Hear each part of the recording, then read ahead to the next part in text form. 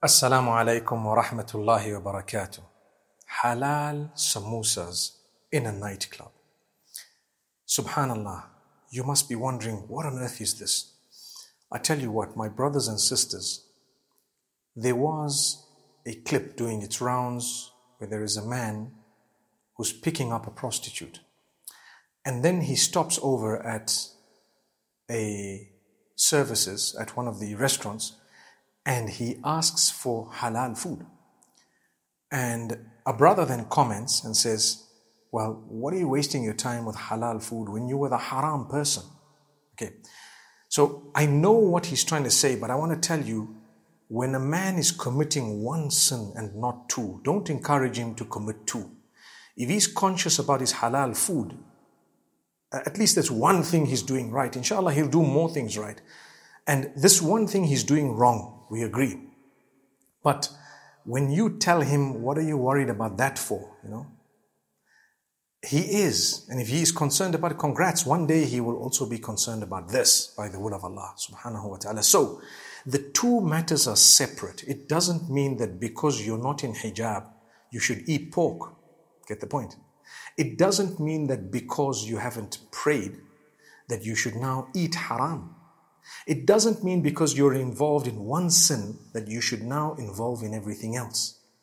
That is something very interesting. And this is why, uh, in some countries, I give you an example even of South Africa, for example, there are some places that are known for gambling. And within that casino, they have strictly halal food. And when I was told about this, uh, they were laughing and they were saying, well, they've even got a little prayer area, subhanallah. Did you know that sometimes the Muslims frequent these places? May Allah strengthen all of us and strengthen them and help them and guide all of us in whatever way we're going astray and bring us to the straight and narrow. But if someone went there and says, listen, I can come to this casino, but only if they have a prayer area, la hawla wa la quwwata illa billah. It sounds absurd, but from an Islamic ruling perspective, you cannot say because you're gambling, you, you can forget about your prayer. That's a sin. This would be another sin, you know. So he's sinning one sin. Don't make him sin two. You can't say that because you're, you're in this nightclub or, or you're gambling, you're in the casino, that why do you have all halal certified food here? Do you get the point?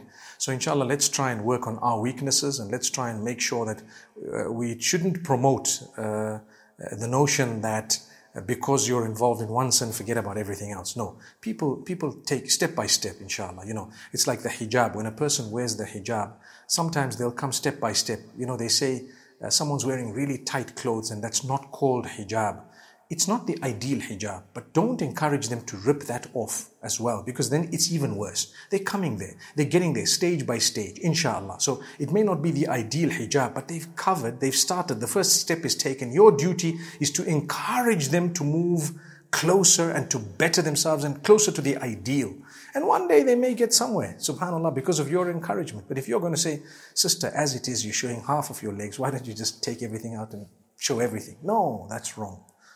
Or, oh, brother, you're showing half your backside, just take it off. No, that's wrong. Notice how I gave both examples because hijab is not just for one.